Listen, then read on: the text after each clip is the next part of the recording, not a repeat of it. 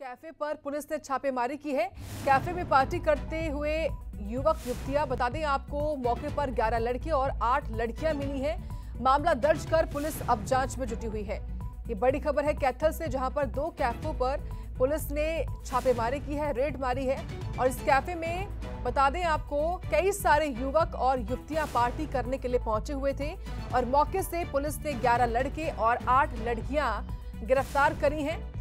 मामला दर्ज भी किया गया है और पुलिस जाँच में जुटी हुई है।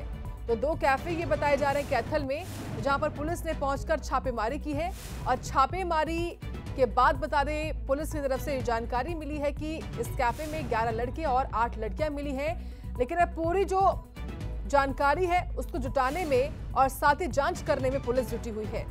तो कैथल के दो कैफ़े हैं और इन्हीं कैफों में पार्टी करने के लिए ये युवक और युवतियाँ पहुँची हुई थी। तो कैफ़े में पार्टी करने के लिए युवक युवती आए।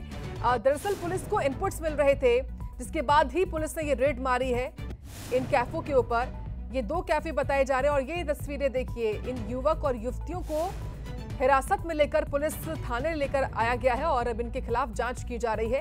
तो देखिए, जो महिला पुलिसकर्मी है, वो इन युवतियों को अपने साथ लेकर पुलिस की जीप में बिठाकर थाने ले गए हैं।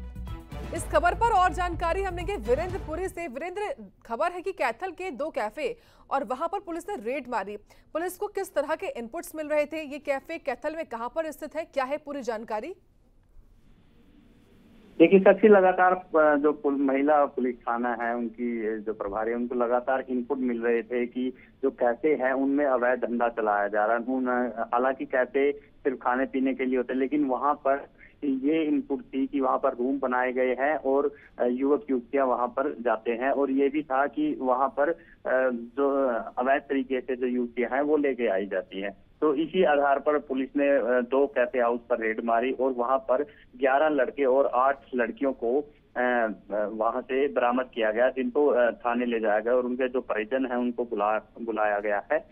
फ़िलहाल वहाँ पर जब रेड मारी गई तो सड़क पर जो लोगों की भीड़ है वो इकट्ठा हो गई थी। उसके बाद पुलिस को हल्का बल प्रयोग भी करना पड़ा उनको भगाने के लिए। जो युवक युवती है हालाँकि कोई आपत्तिजनक हालत में नहीं मिला है लेकिन फिर भी पुलिस ने उनको हिरासत में लेकर थाने ले, ले जाकर उनके परिजनों को बुलाया गया। जी साक्षी। साथ ही वीरेंद्र जो कैफ़े बताए जा रहे हैं, इनका संचालन कब से हो रहा था, इनके जो मालिक हैं, क्या वो गिरफ़्तार किए गए हैं?